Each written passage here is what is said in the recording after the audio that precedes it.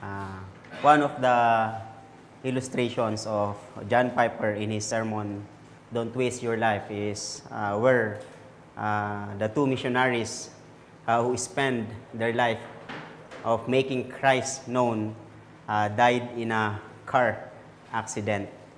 And he asked a question there, was that a tragedy?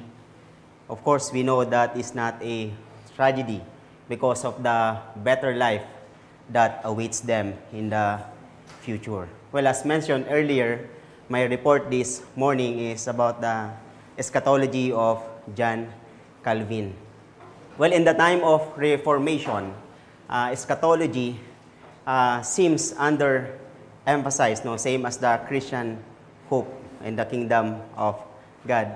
Well, eschatology discusses what believers are hoping for for them personally and for the world and what carries them through life. And eschatology does not merely pertain to the ending of time, but also to reality and the coming of the kingdom of God. Uh, Calvin rejects the uh, belief of the Anabaptist, which is the soul sleep, and he has a contemplation about the immortality of the soul. Well, number two po. At. Uh, Calvin's rejection of uh, Chiliasm. Kilyasam is a doctrine associated, associated with the apocalypticism of the age. Well, Calvin considers that such form of Kilyasam are a childish fiction. In his institute, he said, Surely after the Kilyas arose, who limited the reign of Christ to a thousand years, this fiction is too puerile to need or to deserve refutation, nor do they reserve any countenance from the apocalypse from which it is known that they extracted a gloss for their error. Since the thousand years, their mention refer not to the eternal blessedness of the church, but only to the various troubles which await the church in church militant in this world. Well, the thousand years uh, for, for Calvin must obviously not be taken literally, but represent a very long time. And Cal Calvin also contemplated about, uh, about the future life, of the future life. Well, for Calvin, Christian life is a life lived in imitation of Christ. In his institute, he said, Christ is set before us as a model, the image which, our lives should express. Well, life should be characterized by self-denial. No? We deny ourselves because we belong to God. And self-denial means bearing the cross to reflect the pattern of Christ in Christian lives. Each must bear his own cross. In his institute, he said, Those whom the Lord has been chosen and honored with this intercourse must prepare for a hard, laborious, troubled life, a life of many and various kinds of evils, it being the will of our Heavenly Father to exercise His people in this way while putting them to the proof. Having begun this course with Christ the firstborn, He continues it towards all His children. Well, by striving toward God as our goal must be understood in connection with the eschatological motive of our blessed hope.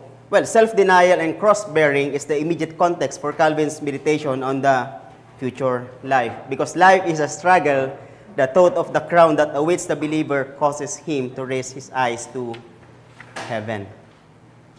Calvin also advocates contempt for the present life. In his institute, whatever be the kind of tribulation with which we are afflicted, we should always consider the end of it, that we may be trained to despise the present and thereby stimulated to aspire to the future life.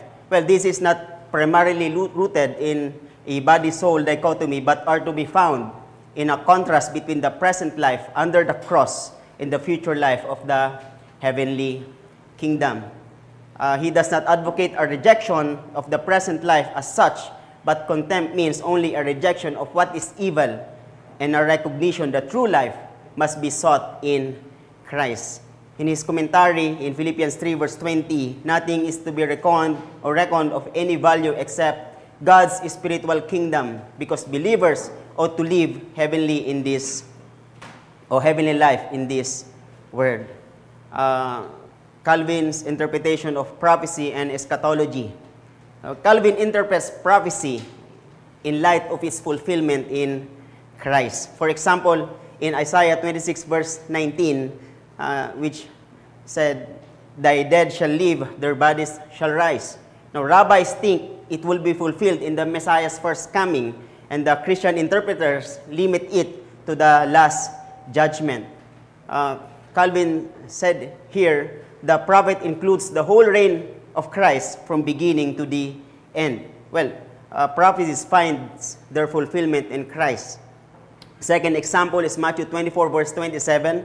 For as the lightning comes from the east and shines as far as the west, so will be the coming of the Son of Man.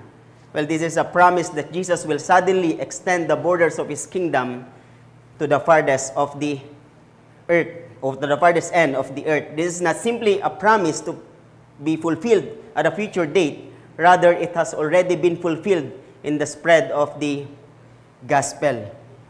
The kingdom of Christ and the Antichrist.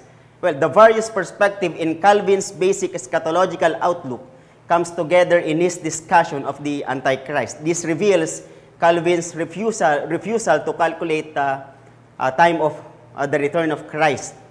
And the central text for this discussion is 2 Thessalonians 2, verse 3. Uh, even though the day of the Lord is at hand, it is not now. Well, John Calvin commentary on 2 Thessalonians 2, verse 2, he said, It is at hand in regard to God, with whom one day is as a thousand years. The basic thrust of eschatological teaching is not to produce calculation, but patience and hope. In Matthew 24, verse 4, in short, the preaching of the gospel is like sowing seed. We must patiently wait for the time of harvest. Well, we must keep in constant watch for him in such a way as not to limit him in any way to a particular time. Then the Antichrist. The Antichrist was viewed by Calvin as a kingdom controlled by Satan. Since the papacy rules in the church and their usurped powers belonging only to God, the papacy was in particular the vicar of Satan. Though is, this is not limited to the papacy, because anyone who led believers from the truth was a part of that kingdom.